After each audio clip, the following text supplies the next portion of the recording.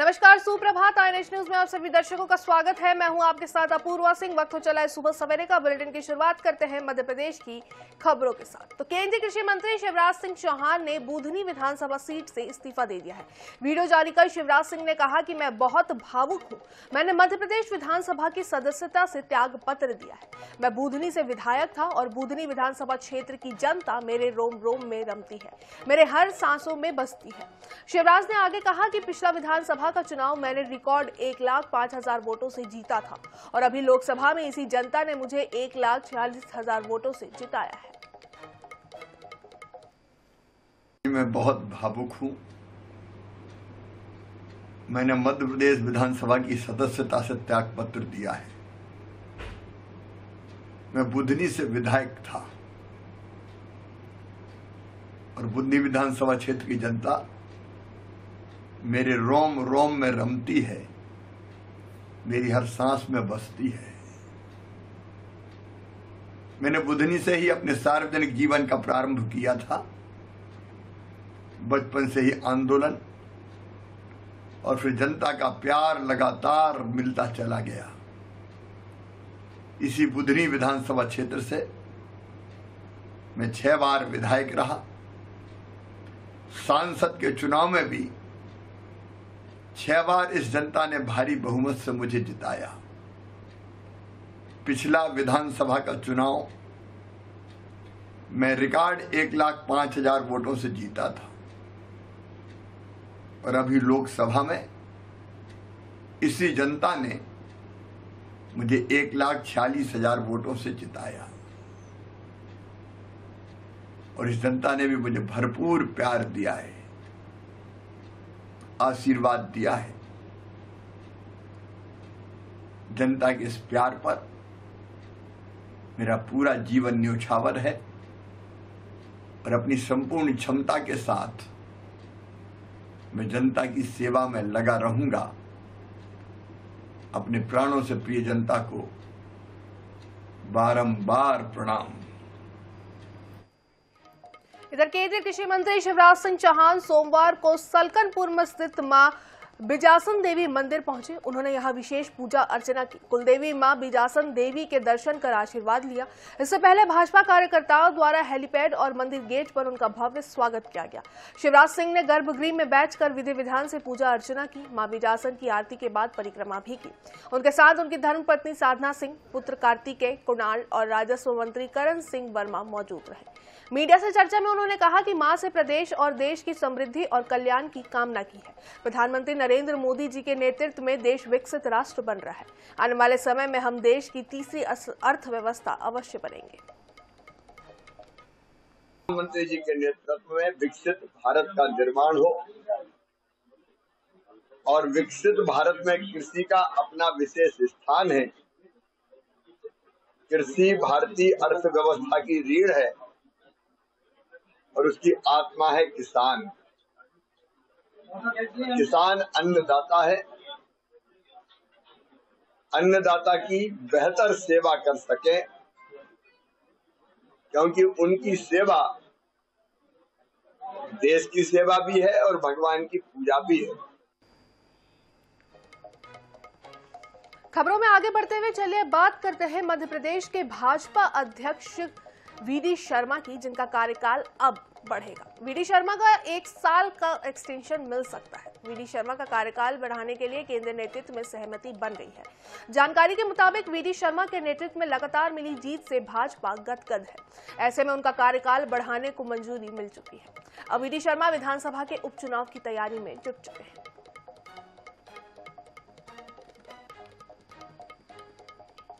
इधर मंडला से भाजपा सांसद फग्गन सिंह कुलसते का एक बयान सोशल मीडिया पर जमकर वायरल हो रहा था, जिसमें वो कहते नज़र आ रहे थे कि मैं तीन बार राज्य मंत्री रहा हूँ, चौथी बार राज्य मंत्री बनना सही नहीं लगा। इसलिए मैंने साफ़ इनकार कर दिया। कैबिनेट बनता तो ठीक है, राज्य मंत्री तो तीन बार रह चुका हूँ। वहीं अब इस वायरल वीडियो पर फग्गन सिंह कुलसते ने सफ़ाई दी है। फग्गन सिंह का कहना है कि उनके बयान को तोड़ मड़ोड़ कर पेश किया गया है। देखिए, मैं तीन बार हो गया। मैंने इसलिए साफ़ मना कर दिया। मैंने कहा राज्य मंत्री हम चौथी बार बने अच्छा नहीं कैबिनेट अगर हो सकता है तो ठीक है इंडिपेंडेंट चार्ज हो जाए। और इसलिए मैंने कहा कि कोई ऐसा मेरे मन में कोई नहीं, मैंने बहुत मंत्री रहा, तीन बार। अब देखिए, इसके बारे में देखिए, यहाँ पर कोई सीनियर जूनियर का सवाल नहीं है।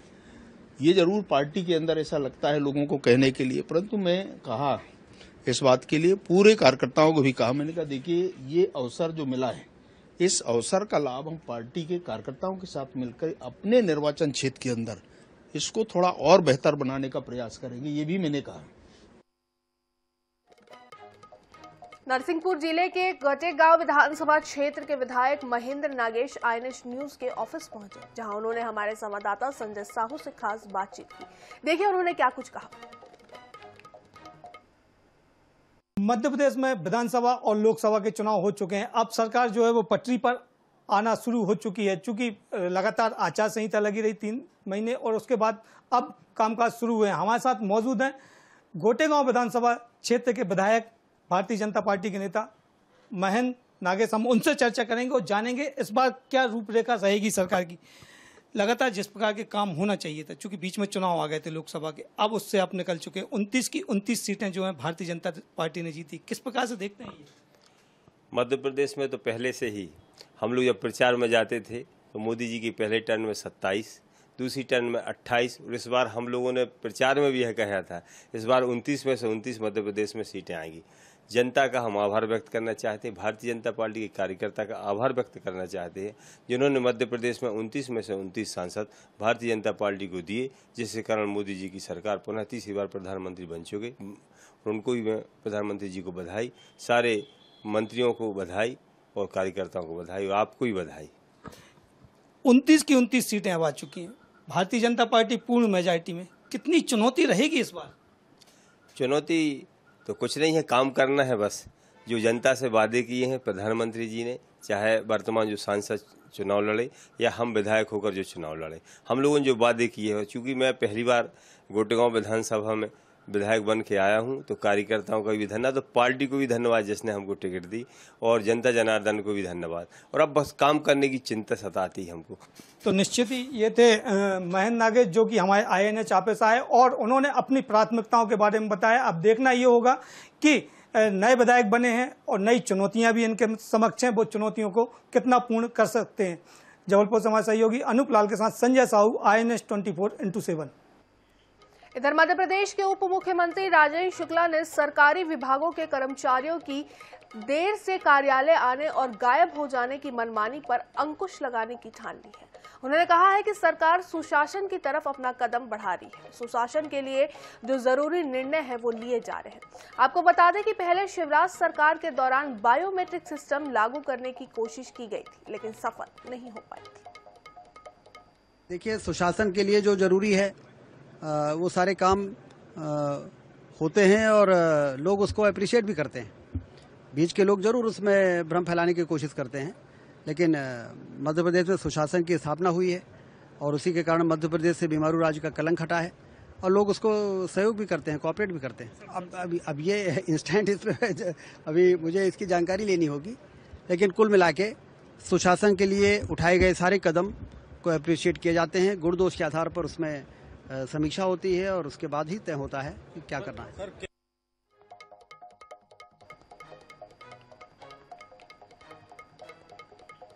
चलिए अब बात करते हैं मध्य प्रदेश कांग्रेस की जहाँ प्रतिनिधि मंडल ने प्रेस प्रेस कॉन्फ्रेंस के माध्यम से देवी अहिल्या विश्वविद्यालय में पेपर लीक का मुद्दा उठाया। कांग्रेस ने विश्वविद्यालय के कुलपति रेणु जैन कुल सचिव और कार्य परिषद पर सवालिया निशान लगाए। साथ ही तीन कॉलेजों पर कार्रवाई न करने का आरोप लगाया। वहीं कांग्रेस छोड़ भाजपा में शामिल हुए अक्षय बम के कॉलेज पर न्यायोचित कार्रवाई न करने का हवाला भी दिया और सख्त कार्रवाई की मांग की है। मृणाल पंत का आरोप है कि भाजपा के नेता बने अक्षय बम के कॉलेज से एमबीए का पर्चा लीक होता है तो मामले कर्मचारी पर कार्रवाई कर दी जाती है, जबकि विश्वविद्यालय के प्रचलित धाराओं के आधार पर संबंधित संचालक द्वारा संचालित सभी कॉलेज की मान्यता रद्द की जानी थी। कि विश्वविद्यालय की कुलपति और रजिस्ट्रार का जो रवैया रहा है, उससे स्पष्ट तौर पर प्रमाणित होता है कि पेपर लीक के आरोपियों को बचाने की वो हर संभव कोशिश कर रहे हैं, बल्कि पेपर लीक में उनकी संलिप्तता भी है और इसकी जाँच करने में उन्होंने कोई रुचि नहीं दिखाई। हमारी मांग है कि कुलपति और रजिस्ट्रार को तत्काल बर्खास्त किया जाना चाहिए। लेकिन इससे बड़ा मुद्दा यह है कि जब विश्वविद्यालय के कुलपति, रजिस्ट्रार और कार्य परिषद अपनी भूमिका निभाने में असफल हो गए, तब 14 साल के बाद मुख्यमंत्री जी ने उच्च शिक्षा आयुक्त को कार्य परिषद की बैठक में शामिल होने भेजा। तो हमें उम्मीद थी कि कुछ गिरफ्तारियाँ होंगी, कुछ कड़ी कार्रवाई होगी। उन्होंने कहा कि किसी नेगेटिव मसले पर कोई बात नहीं होनी चाहिए। उन्होंने कार्य परिषद पर इस घटना को प- को आगे बढ़ाने से रोकने के लिए दबाव डाला।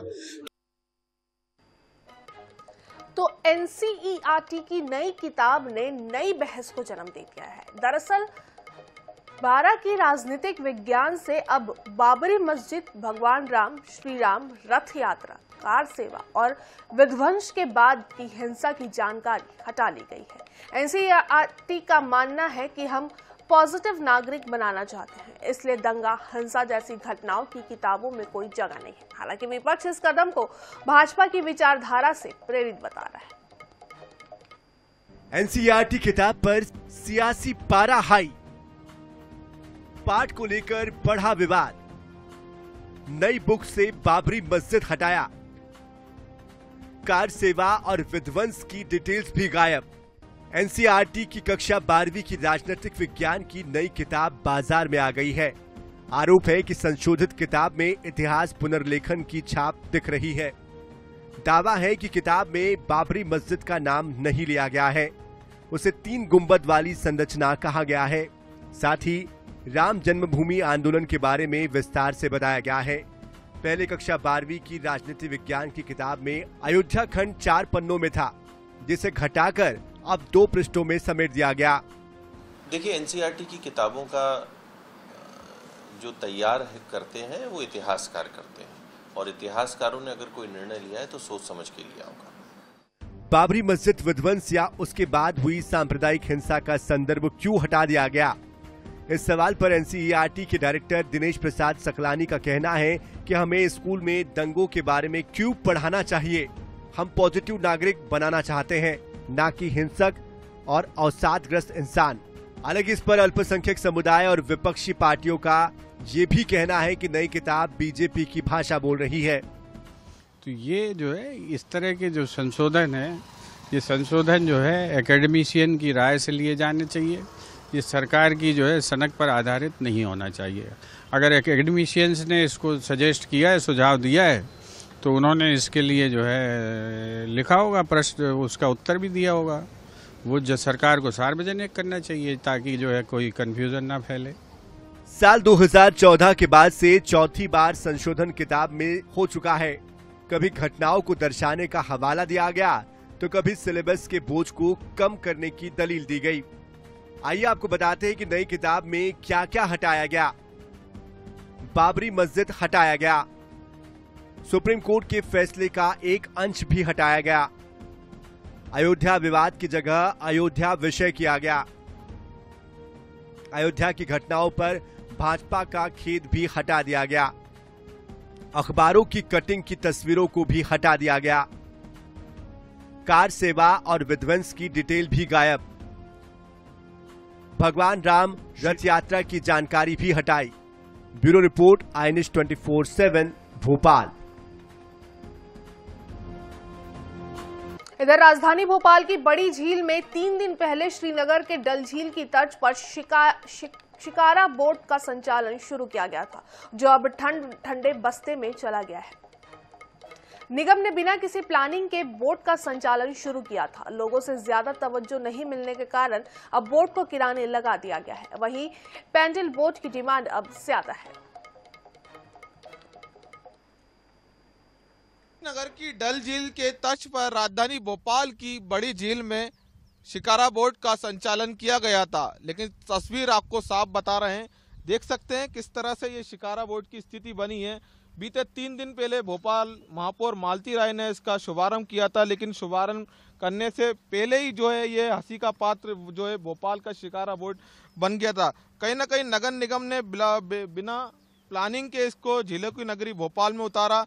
लगभग इसको साठ हज़ार रुपये का खर्च किया गया था शिकारा बोट बनाने में।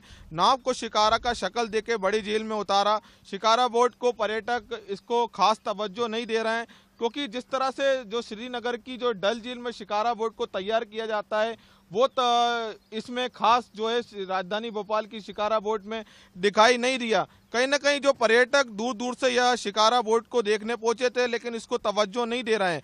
नगर निगम ने जो जुगाड़ से ये शिकारा बनाया गया है, शिकारा बोर्ड के लिए जो है, अब जो सवारी भी जो है, इसको जो है, मिलती हुई नहीं आ रही है। आप देख सकते हैं, ये शिकारा बोर्ड है, अकेले खड़ा है।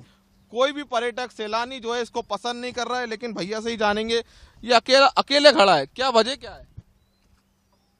तो देख सकते हैं, कहीं ना कहीं जो नगर निगम द्वारा ये शिकारा बोर्ड का जो संचालन किया गया था, जो पर्यटक यह जहाँ पहुँचते हैं, लेकिन ये इसकी डिमांड जो है, ज़्यादा नहीं हो रही है। सबसे ज़्यादा डिमांड जो पेडिल वाली जो बोट है, उसकी डिमांड ज़्यादा ज़्यादा है। अब देखना होगा नगर निगम इसको अब किस तरह से आगे और संचालन करती है। कैमरामैन श्रीकांत के साथ सनी मालविया, आईएनएस न्यूज़ भोपाल। अगली खबर, रेल यात्रियों से जुड़ी, जहाँ रेलवे ने अपने यात्रियों की सुविधा और ट्रेनों की पहचान को सरल बनाने के उद्देश्य से गाड़ियों के नंबर में बदलाव किए हैं। रेलवे बोर्ड ने यात्री ट्रेनों में वर्तमान शून्य नंबर प्रणाली के बजाय इन्हें नियमित ट्रेन नंबर से चलाने का फैसला लिया है। भोपाल मंडल से गुजरने वाली बाईस यात्री ट्रेनें का फिर से नंबर परिवर्तन सूचना जारी कर दी गई है। एक जुलाई से मेमू और यात्री ट्रेनों के नंबर बदलेंगे। यात्रियों की सुविधाएँ और ट्रेन की पहचान को सरल बनाने के लिए बड़ा बदलाव किया है। आपको बता दें कि बीना मेमू सहित 22 ट्रेनों के नंबर में बदलाव किया गया है। पहले नंबर जो है, शून्य से स्टार्ट होते थे, लेकिन अब इनमें बदलाव किया गया है। भोपाल मंडल से चलने वाली मेमू ट्रेन में जो चीज़ है, ये एक जुलाई से लागू होगी, जिससे जो यात्री हैं, उसकी पहचान आसानी से कर सके। इससे पहले जो है, कोरोना काल के पहले भी यही नंबर जो थे, वो फिर से अब लागू होने जा रहे हैं। कैमरा पर्सन विपिन के साथ Anjali Singh, I N S Bhopal.